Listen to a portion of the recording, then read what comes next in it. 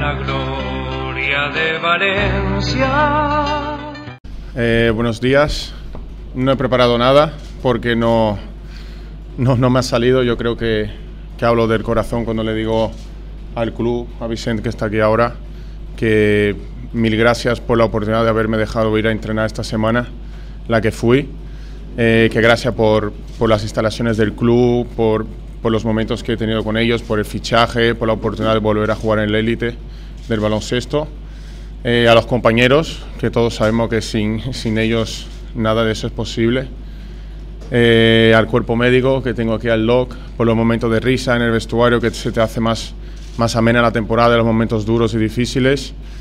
Eh, a los aficionados que, bueno, brutal, no, no hay palabras por el, por el apoyo, el cariño que me demostráis cada día. Y supongo que me seguiré demostrando ahí aún estando lejos, pero jugando en la NBA y que estaréis contentos conmigo.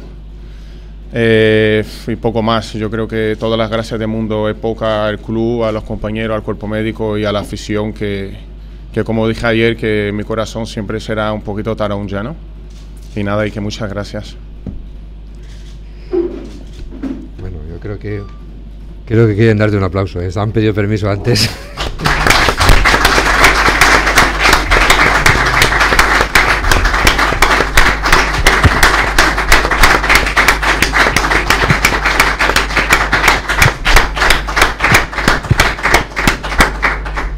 Al final me hace llorar como a Flo y Rafa. sí, tenemos alguna pregunta.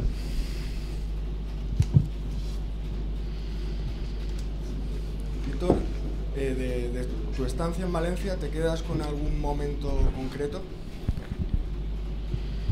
En concreto, pues yo diría que, que muchos, hubo muchos momentos concretos que tuvimos durante la temporada, viajes que, pasaron cosas que jamás esperaríamos, eh, risas con los compañeros. Yo creo que los dos años que estuve aquí no hay un momento que te pueda decir me quedo con ese momento, me quedo con todos los momentos que seguro que si no fueran todo y cada uno de esos momentos no, no podría dar el paso que di ahora hace poco, desde la NBA.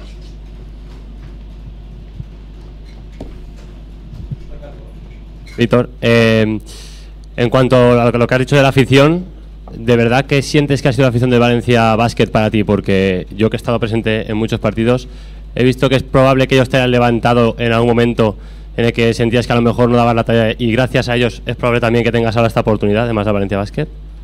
Por supuesto, yo siempre digo que el, que el jugador sin la afición no es nada. ¿no? Yo creo que te levantas cada domingo por la mañana y lo que te motiva realmente, aparte del baloncesto y de competir, es la afición, que sabe que la gente viene a verte y, más con lo que tenía yo aquí, ¿no? que sabía que si hiciera un mate me iban a gritar cualquier cosa que iba a hacer, me iban a aplaudir.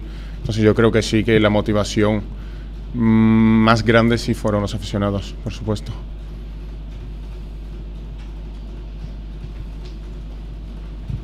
Bueno, eh, tanto para Vicente como para Víctor. No sé si habéis hablado algo del futuro, queda muy lejos, pero bueno, no sé si hay algún tipo de derechos, de acuerdo para volver a Europa, para volver a Valencia. No sé si sería tu primera opción una vez dejes la NBA. ¿Habéis hablado de eso?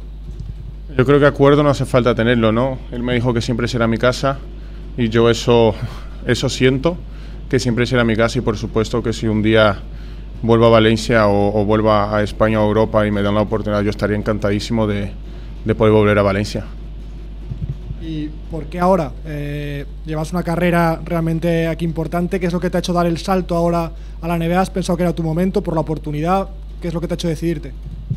Bueno, yo creo que ningún jugador puede decir que no una oportunidad así, ¿no? Un club como los Boston, así de grande.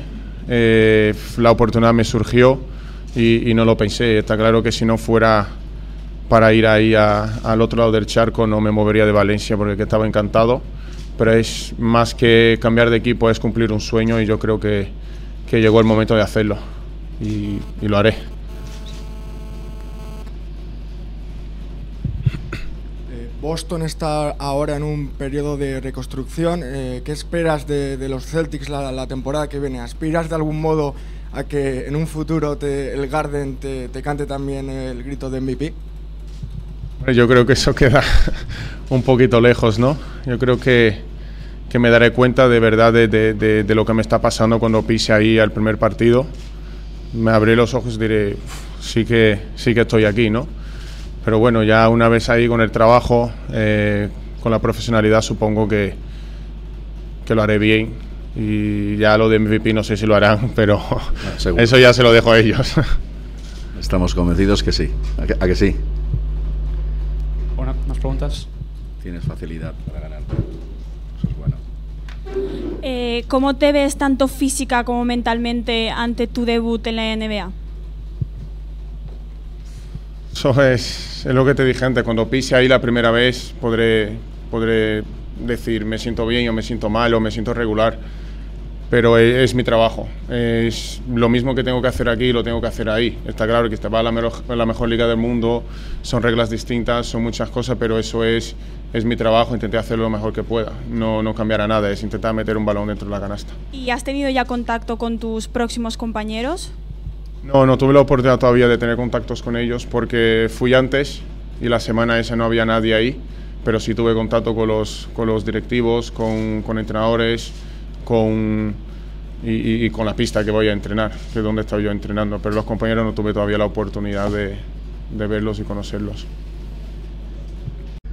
Víctor Faberani, que llegó de, de un recién ascendido Murcia, pues ha experimentado una progresión tan importante ha realizado un esfuerzo y un trabajo tan importante en nuestro club que además de ganarse todo el cariño de la afición, como bien sabéis, pues eh, también es verdad que ha encontrado una gran recompensa. Y decía lo triste, lo triste es que se va el jugador importante, el jugador que, que queremos todos y que queríamos, y la gran alegría que nos produce es que se marcha a esa liga que todo jugador, que todo jugador profesional pretende conseguir. Es como un sueño y quiere participar y quiere jugar allí.